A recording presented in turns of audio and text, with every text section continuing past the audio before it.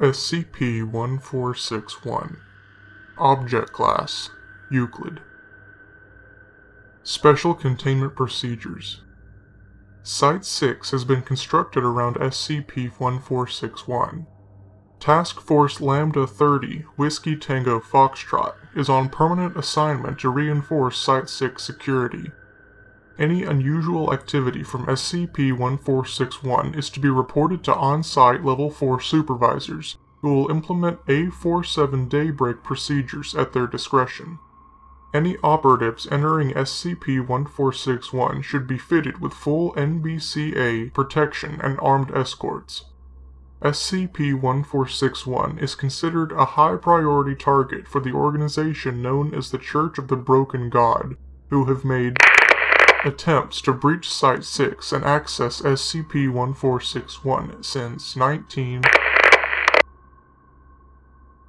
Description SCP-1461 is an English manor circa 1890, with attached sub-levels. It came to the Foundation's attention on November 1941, when the dwelling and its sub-level facilities vanished, then rematerialized after an 11-day period of absence. The surface portion of SCP-1461 is a two-level dwelling with 12 bedrooms, 4 baths, 3 studies, a main foyer and ballroom, a library, a kitchen, and a pantry basement. Most of these rooms were converted into simple barracks prior to Foundation acquisition and are believed to have been dwellings for the cult. Site-6 staff have reinforced the structure and used the available space to house monitoring rooms and security forces. No anomalous activity has ever originated from the manor itself. The sub-level facilities are accessible through the manor's basement.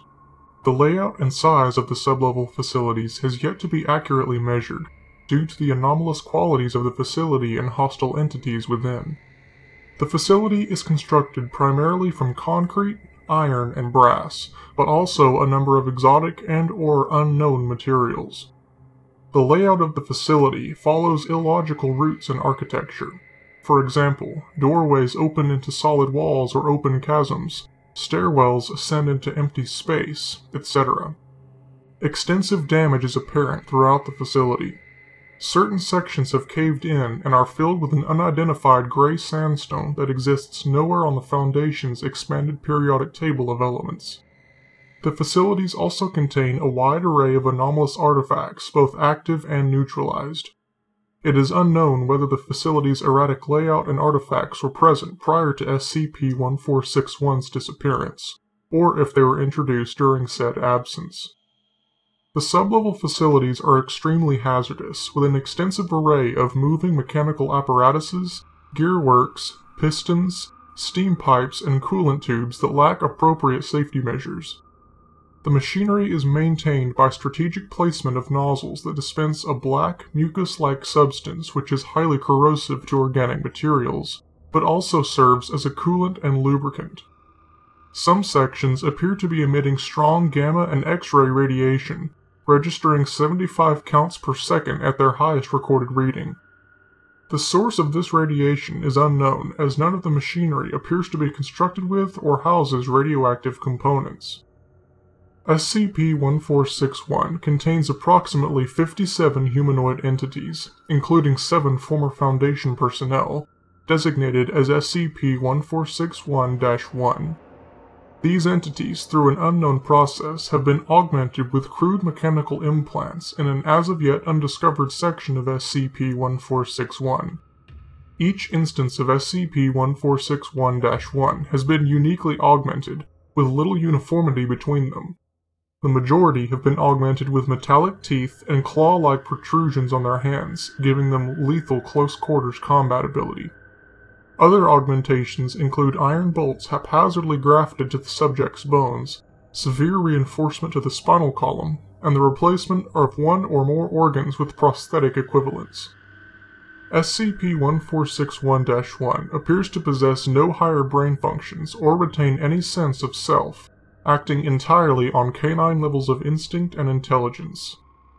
Instances stick to one or two unit groups, build easily hidden or defensible nests, an attempt to collect food cannibalized from one another or from intruding Foundation staff. All instances of SCP-1461-1 are considered extremely hostile. It is theorized that SCP-1461 itself may command SCP-1461-1. The speaking tube system throughout the facility has been observed emitting loud metallic shrieks that cause SCP-1461-1 to retreat from an area. In other encounters, a metallic odor identified to be blood filters through the ventilation system, drawing SCP-1461-1 to the marked location. The frequency and accuracy at which SCP-1461 scent marks areas currently occupied by Foundation personnel suggests some kind of guiding hostile intelligence. At least four instances of SCP-1461-1 have received additional augmentation, replacing their esophagus and lungs with a phonograph device powered by SCP-1461-1's own motions. These phonographs emit a constant, repeating stream of speech peppered with religious symbolism, but has provided no clues as to its creator or purpose. Addendum According to records from 1941, the manor was owned by a Mr. and his family. A World War I veteran, Mr. was injured during the Battle of the Somme and shipped to a London hospital shortly before the war's end. His experiences appear to have had a profound psychological effect, giving him a nihilistic view of society.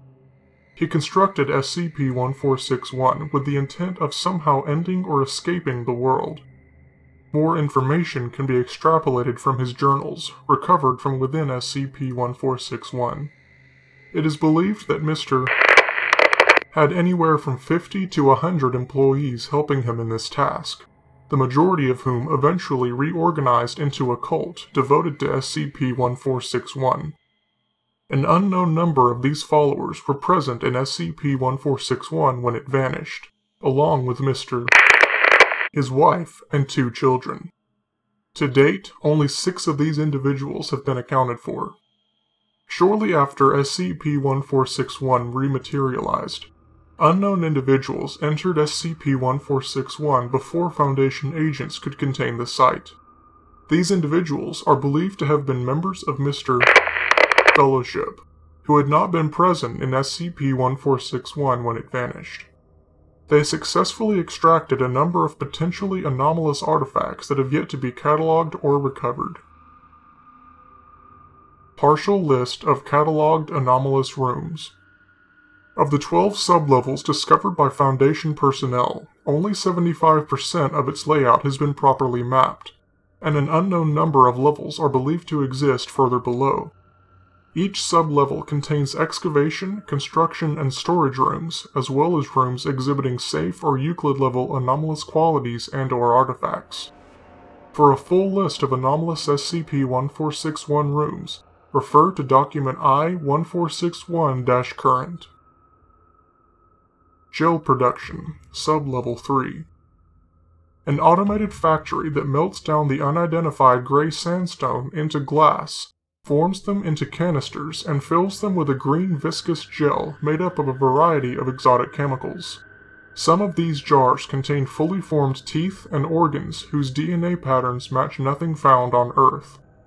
Most of the jars have become inert, and their contents have decomposed. The gel production machine itself has been crushed by a cave in. Pipe Hall, Sublevel 4 a hallway lined with approximately 2,450 pipes constructed from brass, iron, copper, gold, bamboo, carved jade, and data expunged. Some kind of substance can be clearly heard being pumped through the pipes, but their origin and destination are unknown. Factory Deliveries, Sublevel 7 a large, unlit warehouse filled with wooden crates of various sizes. Unlike other storage rooms, which contains mundane materials from non-anomalous sources, the crates in this section are blank or branded simply with factory deliveries. Irregular patrols of the warehouse have revealed that the number and arrangement of crates changes, but as with the pipe hall, Their origin and destination are unknown. On at least one occasion, muffled vocalizations could be heard coming from somewhere within the warehouse, but their source was never discovered. Orb Room, Sublevel 10. Data expunged. Speaking Tube Room, Sublevel 11. The multitude of brass speaking tubes connecting SCP-1461 appear to converge in this room on a large central pulpit. The partial remains of a human female have been recovered here, with evidence to suggest the body, specifically skin and intestinal organs, was used to perform crude repairs to some of the damaged tubes. Catalyst Room, Sublevel 12. A large chamber filled with a random assembly of gears, cables, pulleys, screws, and belts, all made of an amalgam of iron, tin, gold, and other metals, some as of yet unidentified. The assembly has suffered extensive damage, with evidence that a large section, approximately 12 cubic meters, has been violently removed. The location of this section is unknown. An elevated platform is suspended directly over the assembly. The platform features a metallic bed with the desiccated remains of a human female.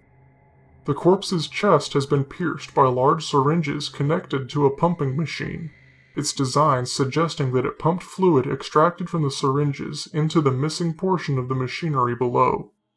At regular 45 minute intervals, the assembly attempts to self start, but its existing damage prevents initialization. Friction heat buildup eventually results in an emergency shutdown that lasts until the machinery has cooled enough to make another attempt. Partial transcript of SCP 1461 1 phonograph recording. I am what you have made me. I am choice and I am tyranny. Forgive me. I am then and I am now. What gods they will be then. I am evil and I am flesh. I am the trap. I am the trapped. I am beauty and I am chaos. Children are selfish. I am the worm. I have broken God.